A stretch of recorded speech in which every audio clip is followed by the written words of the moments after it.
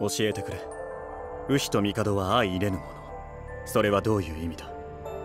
断る。そなたはこうと決めたことは頑として聞かないな。悪かったな。